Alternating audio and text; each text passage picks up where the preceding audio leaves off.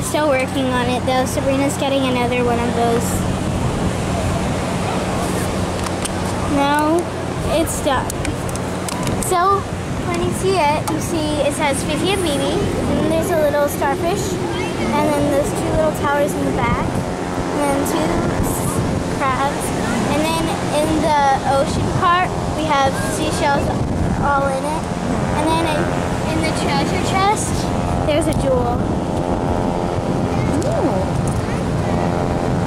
girl.